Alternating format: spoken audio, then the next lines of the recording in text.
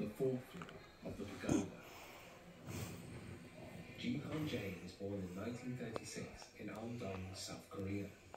Already an eighth dan black belt by his early 20s, in 1957 he combined all of his knowledge into a hybrid force he called Hapkido. Though some dispute whether Ji actually invented Hapkido, it cannot be argued that he was foremost in promoting and teaching it far and wide, eventually founding the Korea Hapkido Association in 1965.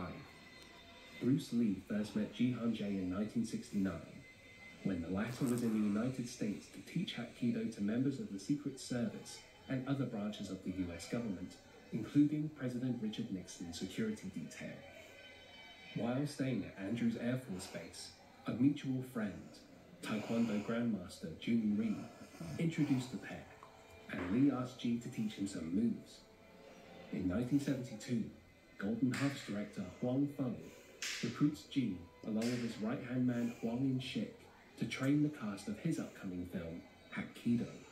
Ji and Huang also play roles in the film, and it is on the set at Golden Harvest Studios where Ji once again makes the acquaintance of Bruce Lee, who is filming The Way of the Dragon at the same time. Bruce enlists Wong In-shik's services as an actor on Way of the Dragon, playing a Japanese fighter near the end of the film. And soon enough, he is offered both Wong and Ji acting roles in The Game of Death. Wong's role is the guardian of the first floor of the pagoda, but other than some exterior footage we'll discuss later, his scenes never make it before a camera. Ji Han Jae, on the other hand, plays the guardian of the fourth floor, and as it happens, his is the last of the major fight scenes for the Game of Death that Bruce Lee ever lives to film.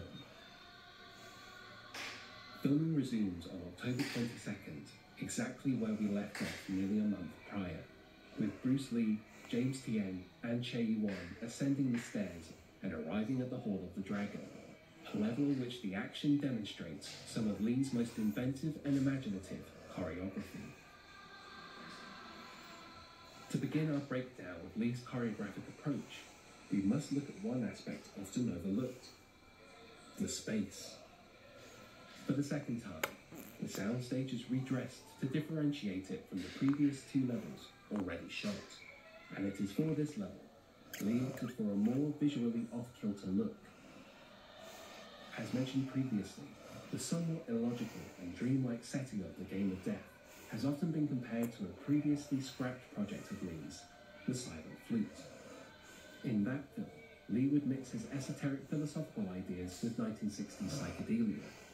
This creative impulse is most pronounced in this fourth level, where the overall art direction leans towards more otherworldly sensibilities. We immediately see this as Ji Han Jae emerges behind a ghostly white veil, his gi seamed with gold lapels, and wrapped around his waist an equally blinding gold belt. They constantly glimmer in the light, almost as if to distort the senses of anyone who lays eyes on this guardian. Even Ji's choice to drench the room with a harsh red light evokes a mildly psychedelic sensation.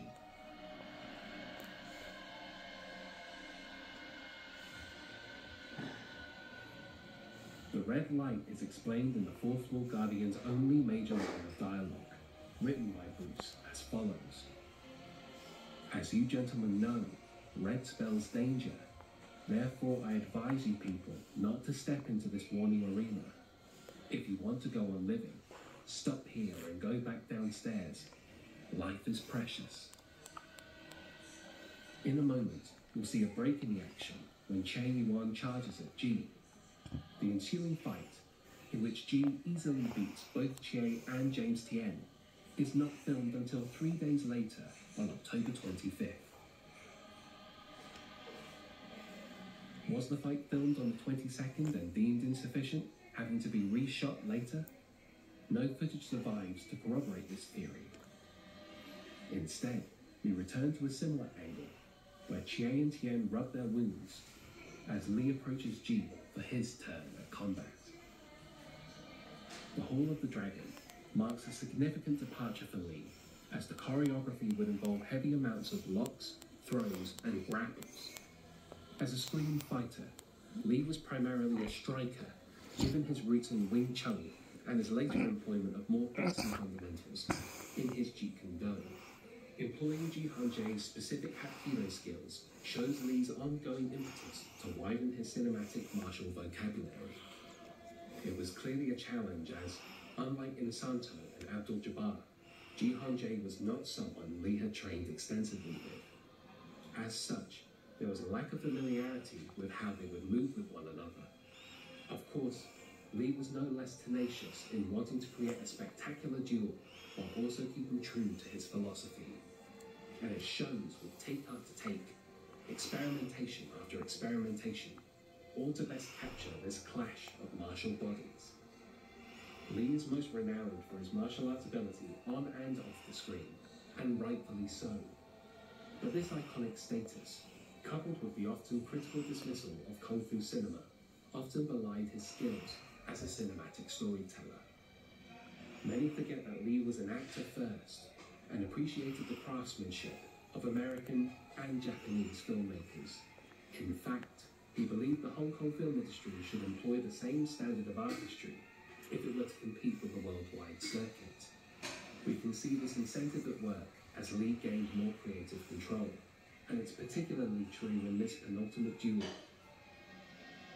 The first day's filming concludes with Bruce's first blow against June, shot at a number of speeds over multiple takes.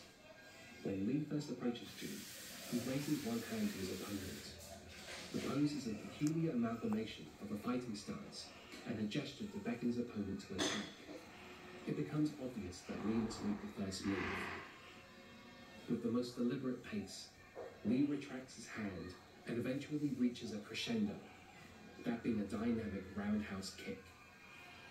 To quote his choreography notes, he relaxes, smiles, and puts his hand back, and while keeping his smile, initiates a lightning right finger jab feint, follows instantaneously with a low high hook kick with fluid speed, intense grace, and powerful one, two, three.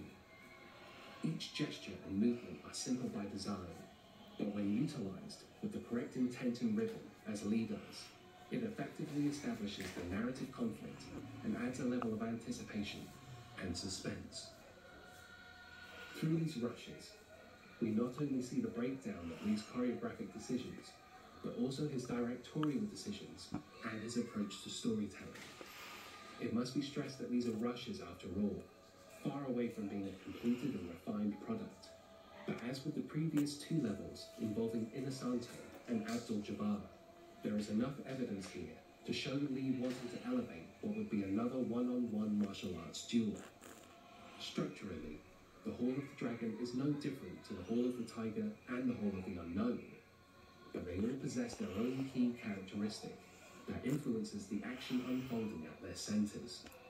That characteristic could be obtrusive, like the darkness in the Abdul Jabbar fight, or insidious, like the harsh red light in this one. But given the planned order of these three levels, we do get a sense that the higher we climb the pagoda, the more otherworldly the surroundings become.